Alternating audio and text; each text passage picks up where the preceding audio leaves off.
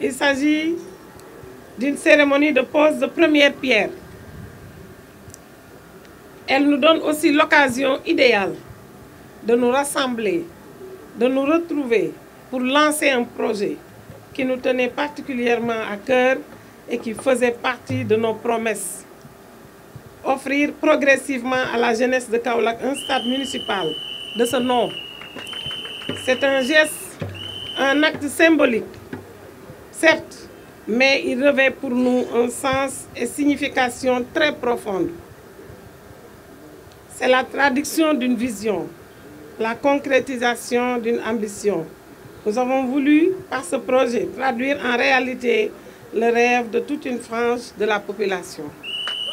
Il faut voir, surtout en ce geste, notre engagement résolu et notre ferme détermination de servir notre collectivité territoriale et de soutenir fortement la politique définie par le chef de l'État, son Excellence, le président Macky Sall, pour un Sénégal émergent et pour le bien-être des populations de Kaolack.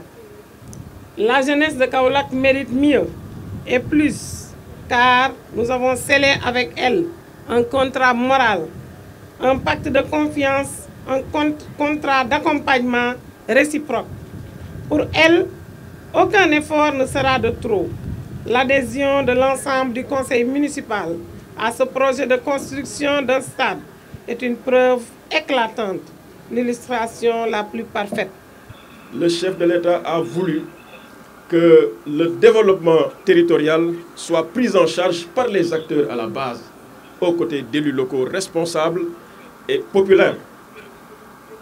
Cela également, c'est pour que le développement territorial soit fouetté, pour que les réalisations sortent de terre, pour que les aspirations des populations soient prises en charge. Madame le maire, vous avez compris cela et vous êtes en train de mettre cela en œuvre. Je voudrais vous féliciter. Parce que ce que vous êtes en train de faire aujourd'hui n'est autre que la matérialisation du souhait exprimé par les populations. Ce souhait-là, c'est de disposer d'un stade municipal fonctionnel, opérationnel et qui réponde à toutes les attentes. Et si j'en juge par ce qui nous a été présenté par votre agent voyer, je puis vous assurer que vous allez mettre entre les mains des Kaolokoises et des Kaolokois une infrastructure de dernière génération.